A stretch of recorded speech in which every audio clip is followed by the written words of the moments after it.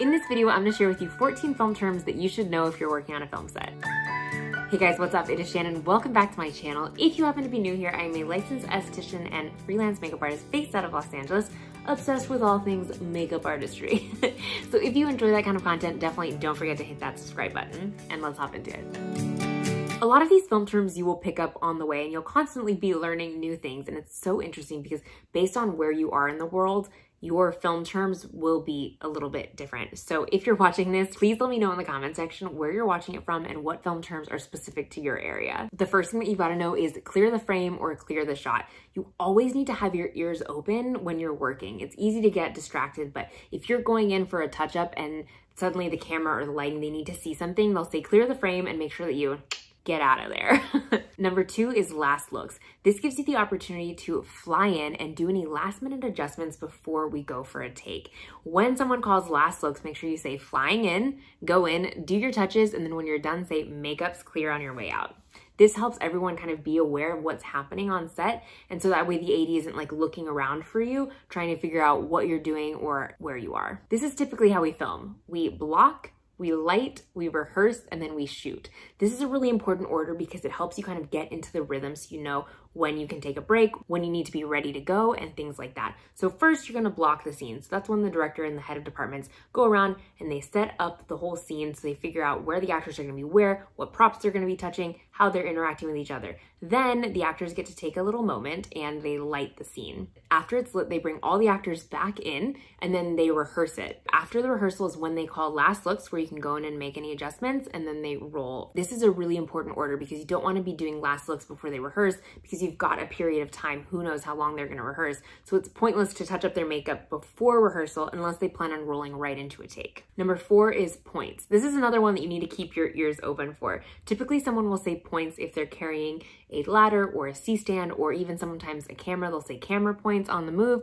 That's when you need to just like be aware of your surroundings and make sure that you don't get hit. Number five is craft services or crafty, not to be confused with catering. Catering is meals, so when you get fed breakfast or lunch, craft services is the best place on set most of the time. Although there is an amazing Instagram account called at Bad Crafty, which is great if you need a good laugh. And on those low budget gigs, your craft services will not be as great necessarily, but as you grow and depending on the budget, I've seen some insane crafty tables. This is where you can get your coffee, your tea, your snacks, um, everything to keep you kind of going because as you guys know, film days on set are really, really long. So it is important to have those snacks and stay hydrated. Number six is a call sheet. This is such an important tool that you will be able to read inside and out. It gives you all of the information that you need to know for that day. It's gonna give you your call time, when you need to show up. It's gonna give you addresses. It's gonna give you the list of the scene numbers that we're filming. Sometimes it'll even have extra notes if there's like a big makeup scene.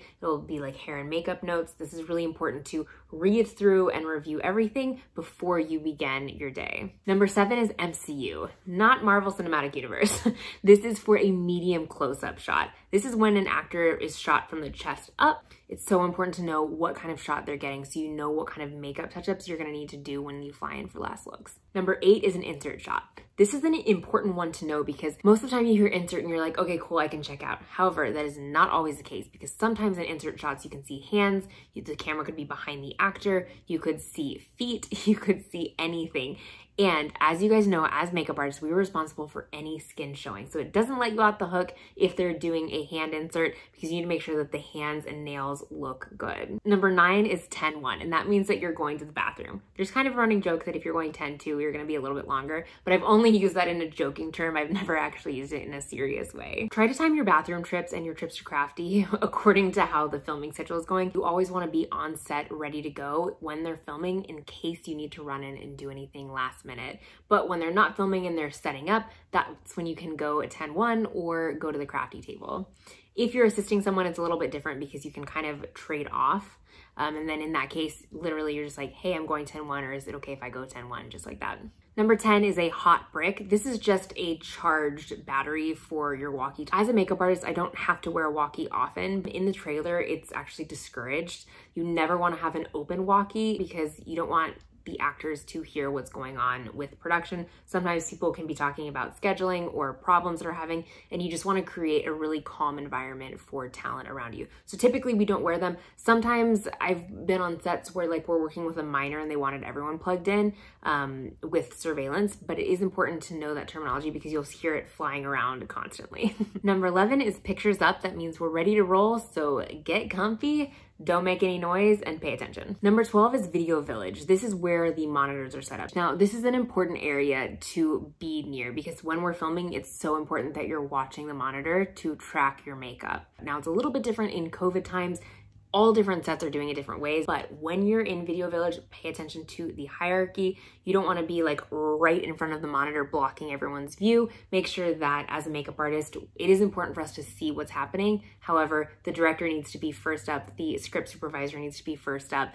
and producers, of course, get first up when they are trying to look at the monitor as well. Depending on the size of the budget, oftentimes when you're just starting out, they don't even have a monitor up. In that case, I always ask the person behind the camera if I can take a look before they roll, just to make sure that everything looks good before pressing that record button. However, as your projects get bigger and bigger, sometimes even the director will have their own monitor or the script supervisor will have their own monitor, um, and it's not always like a video village situation, especially with COVID now. It's like a little bit different. Number 13 is continuity. It is so important to get continuity photos, make continuity notes so that you are aware of what you are doing. The ultimate goal for continuity when you know you're doing it successfully is that when someone can look at your notes and your products and your pictures and be able to recreate that makeup just as you did. This is so important for reshoots, also for keeping you on track throughout a storyline if the character has different makeup looks, and just to get in a good habit of backing yourself up because I'm telling you,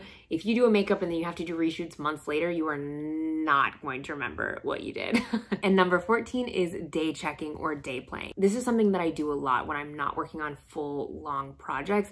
In between those big projects, I typically will day play for friends in the industry and just hop on their projects for a day or two to help them out, especially if they're like a lot of background extras or they just need an extra hand. Alrighty guys, that is it for me for this week. Give this video a thumbs up if it was helpful for you and let me know in the comment section below what videos you'd like me to create next.